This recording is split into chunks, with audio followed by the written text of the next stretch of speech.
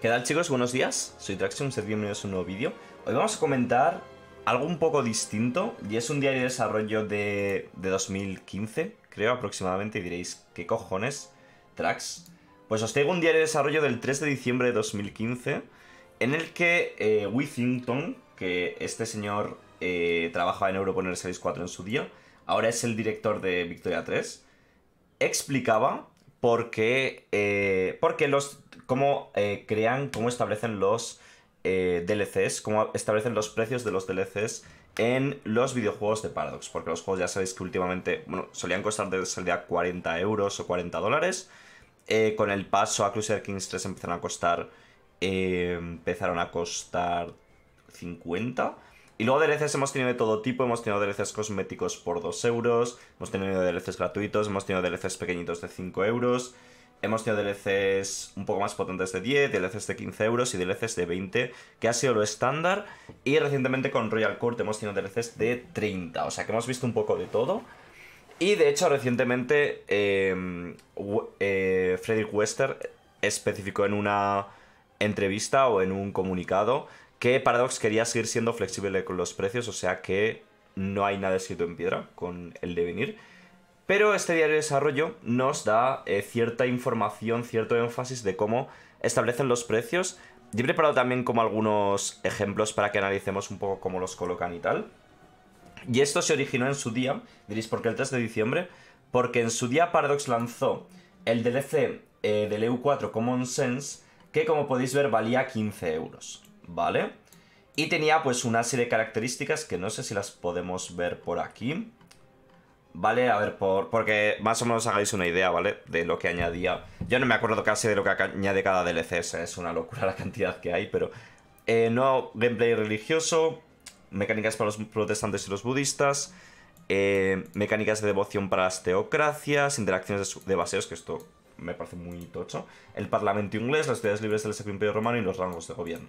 Vale, y esto valía 15 euros, ¿vale? Y el siguiente DLC fue Cossacks, que aparentemente, pues, eh, con las cosas sobre el papel, con las cosas listadas, dicen, la gente decía, pues trae más o menos la misma cantidad de cosas que Common Sense, que el DLC anterior, pero este valía 20 euros.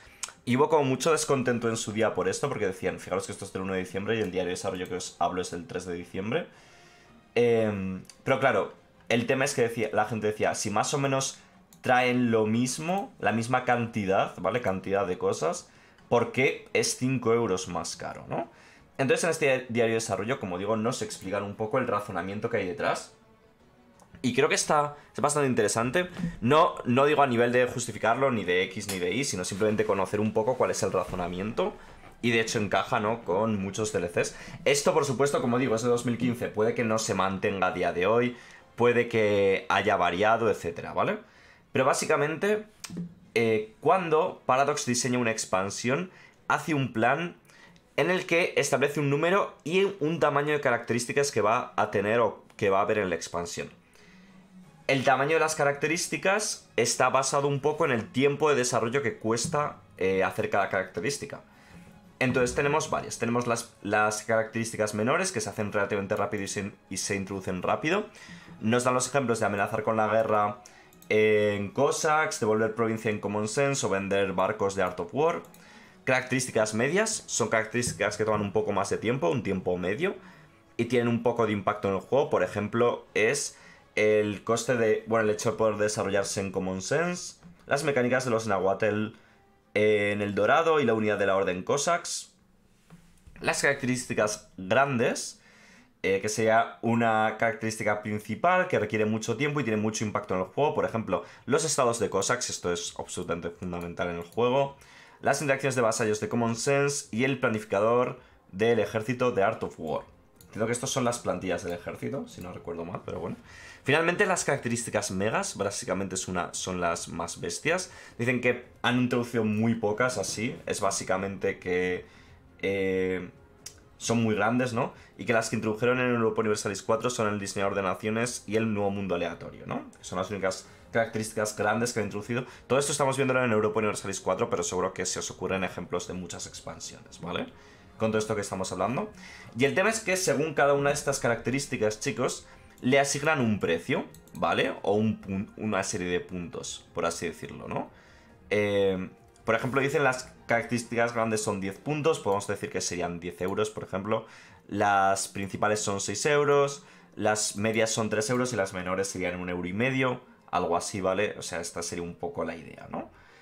Entonces, pues vas aquí a continuación a hacer cálculos en el diario de desarrollo. Por ejemplo, Common Sense tenía dos características principales, 6 menores eh, y 4 medias, ¿no? Esto hace un total de 33 puntos, lo que haría un total de 2,2 puntos por dólar, ¿vale?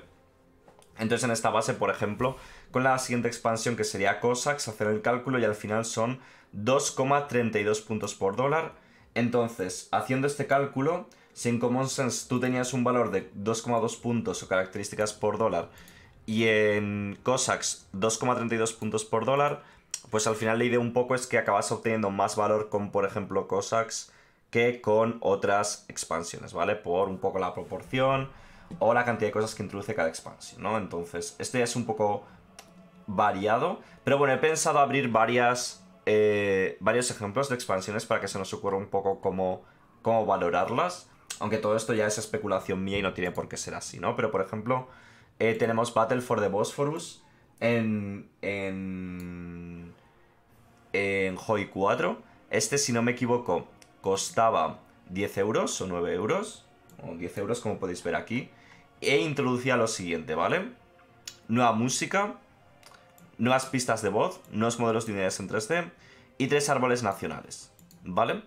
Entonces, ¿cómo lo podríamos valorar? Pues siendo que vale 10 euros, quizá podrían ser 2 euros por cada árbol, ¿vale? Esto haría un total de 6 euros.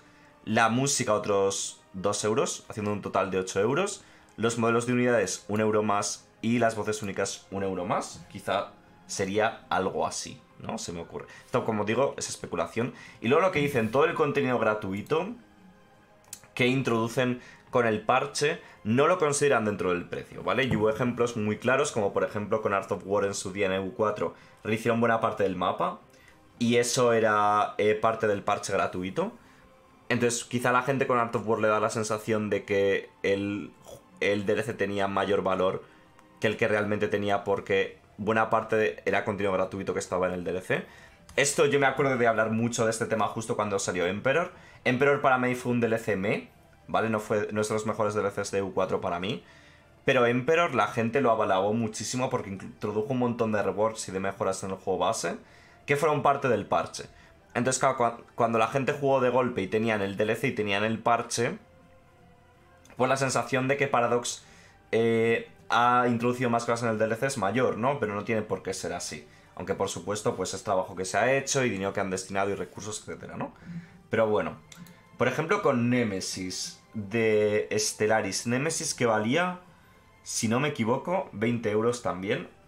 No está la posibilidad de convertirse en la crisis. Esto es una característica muy grande, probablemente fuera de 10 euros, ¿vale? Y lo mismo con los el custodio, ¿vale? Estos son características muy grandes, probablemente costasen 8 o 10 euros cada una por tiempo. El espionaje, pues también puede ser que esto valía 5 euros o lo que fuera. Entonces quizá esta expansión tuviera más valor eh, que el precio, ¿sabéis? Algo así. Se me ocurre. Leviathan de EU4, por poner alguna, alguna eh, reciente, ¿no? Esta valía 10 euros. Perdón, 20 euros. Esta trajo muchísimas cosas, si te paras a pensarlo. Pedir favores es una característica pequeña. Nuevas opciones de regencia de expandir la regencia y tal. diría que es una pequeña también. Naciones coloniales especializadas diría que es una mediana. Concentrar el desarrollo diría que es pequeña y quizás saquear capital también y expandir infraestructura y centralizar el Estado. El, rehacer la fe totemista. Diría que son todo, casi todas pequeñas. Los monumentos diría que es mediana. Los monumentos fue una locura. Y finalmente nuevos modelos de unidades y...